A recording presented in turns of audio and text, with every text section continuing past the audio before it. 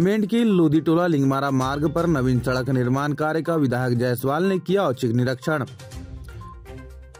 विधायक प्रदीप जायसवाल, खनिज विकास निगम अध्यक्ष ने मेंढकी लोधीटोला लिंगमारा मार्ग पर लगभग साढ़े चार किलोमीटर निर्माणाधीन सड़क का निरीक्षण किया।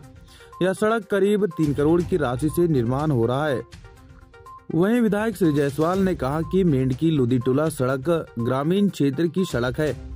यह मार्ग खेत खलियान व बैलगाड़ियों वाला है। इस कारण सड़क निर्माण में हो रही आंसदी दिक्कतें आ रही है, जिसे हमने दूर कर लिया है। इसी तरह मेंढकी से पवारी टोला सड़क का भी टेंडर लग गया है। जल्द ही जल्द कार्य प्रारंभ हो जाएगा।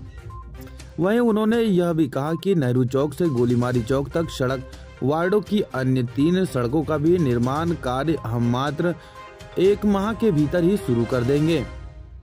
जिसके बाद वारासिनी नगर की प्राय सभी सड़कें व सभी दिशाओं में आवागमन क्षेत्र की पहचान के अनुसार ही नज़र आएगा।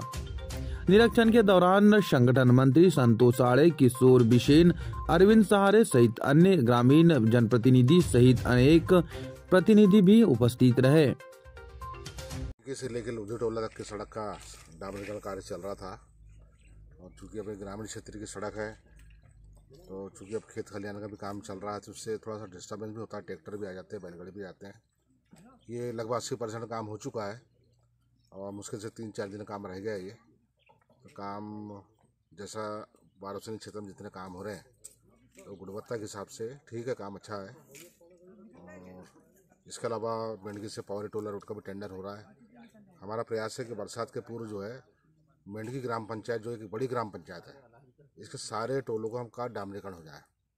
और इसमें हमने खनिज विभाग के माध्यम से करोड़ों रुपया, कम से कम पाँच करोड़ रुपया तो हमने मेंढकी पंचायत में ही खर्च कर दिए।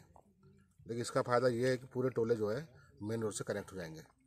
इसके बाद हमारी जो मेन रोड रह गई वारासुनी से लेकर मेंढकी मेंढकी से डोंगर डोंगरमली इसके लिए भी हमने बजट में राशि अभी प्राप्त हुई है और बहुत जल्दी इसका भी हम काम प्रारंभ कर रहे हैं।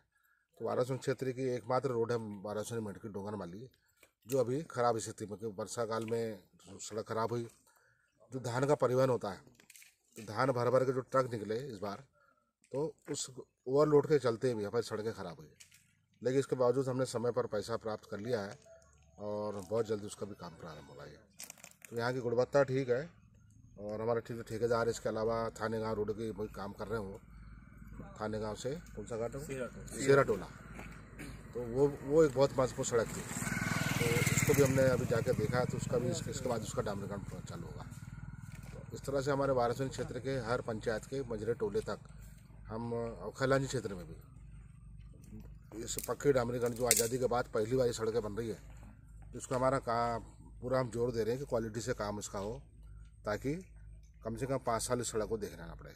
तो इसमें तो हमको पूरा भरोसा है कि सड़कें जो है, पूरा पाँच से दस साल चलेगी, इसमें कहीं कोई दिक्कत नहीं भी एक जानकारी ये आ रही कि जो लोक निर्माण विभाग है वहाँ समीनियर एकमात्र बच्चे हैं और वो भी रिटायर हो रहे हैं। तो आपके जो हाँ, सड़कों का काम है इतना बड़ा। ध्यान हमारा गया है इसमें। हम प्रयास कर रहे हैं कि उनके रिटायरमेंट के पहले जो है हमारे जितने सब डिवीज़न है सब डिवीज़न के मापदंड के हिसाब से जितने सब डिवीज़न होना चाहिए उसकी पूर्ति करने का हम लोग प्रयास कर रहे हैं उसको भैया एक ये भी था कि जो नगर की बात करें वाराणसी की तो नेहरू चौक से लेकर गोलीबार चौक की सड़क को अपन बहुत दिन से बहुत प्रतीक्षित मान रहे हैं उसको भी। तो उसका काम अपन कब तक चालू कर सकते हैं? लगभग पचास लाख का टेंडर हुआ है अभी। जिसमें हमारी जो शहर की मुख्य सड़क है नेहरू चौक से लेके गोलीबार चौक तक का जो पर्याप्त चौड़ी भी है और बहुत ज़्यादा ख़राब हो चुकी है। तो इसका टेंडर भी हो चुका है। मैं समझता हूँ कि एक आध हफ़्ते बाद जो है इसका निर्माण कार्य प्रारंभ करेंगे हम।